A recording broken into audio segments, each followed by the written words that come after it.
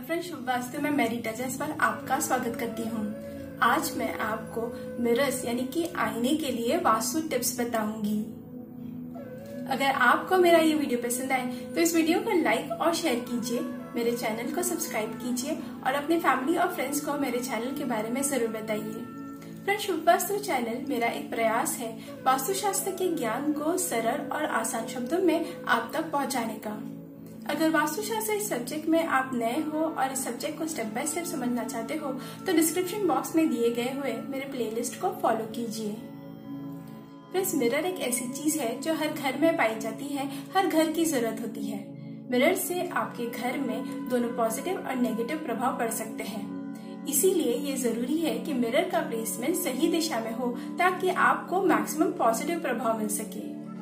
तो इस वीडियो में हम जानेंगे कि वास्तुशास्त्र के अनुसार मिरर के लिए सही दिशाएँ कौन सी है और मिरर रखते समय हमें किन बातों का ध्यान रखना है। चलिए शुरुआत करते हैं मिरर के लिए सही दिशाएँ जानकर। फ्रेंड्स हम ये जानते हैं कि मिरर पर जब रोशनी पड़ती है तो वो रिफ्लेक्ट हो जाती है। उसी तरह से जब मिरर पर एनर्जीज पड़ते हैं तो वे भी रिफ्लेक्ट हो जाते हैं, चाहे वो एनर्जीज नेगेटिव हो या पॉजिटिव हो।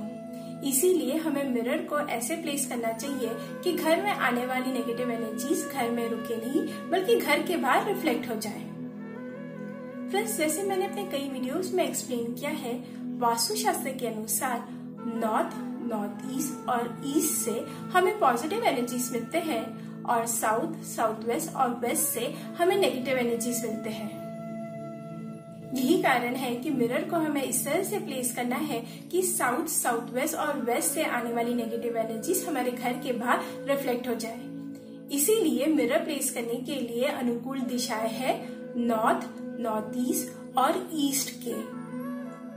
इससे घर में आने वाली नेगेटिव एनर्जीज घर के बाहर रिफ्लेक्ट हो जाती है और घर में पॉजिटिव एनर्जीज बनी रहती है।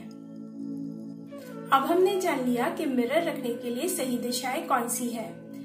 अब हम मिरर रखते समय हमें किन बातों का ध्यान रखना है, ये जान लेते हैं।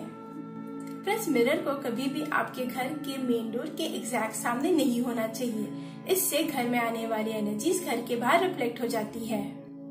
फुल लेंथ मिरर को आपको फ्लोर से एटलीस्ट दो से ढाई फीट ऊपर प्लेस करना है।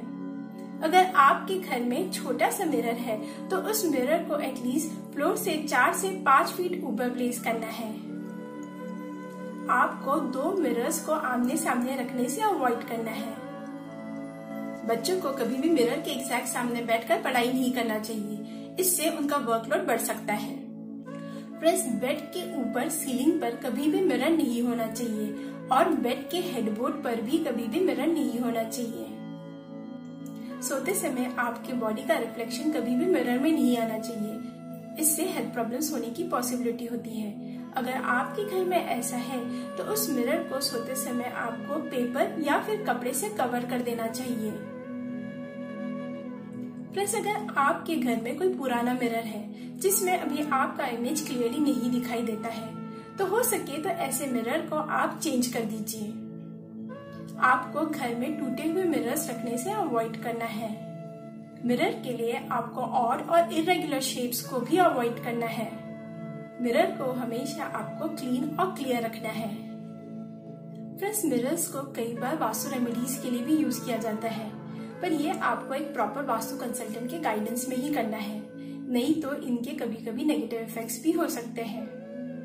फ्रेंड्स ये कुछ सिंपल वास्तु टिप्स है आईना यानी कि मिरर के लिए। इस टॉपिक से रिलेटेड अगर आपके कोई और क्वेश्चन या कोई रीज है या फिर आप कोई वीडियो सजेशन देना चाहते हैं तो प्लीज़ नीचे कमेंट में लिखिए।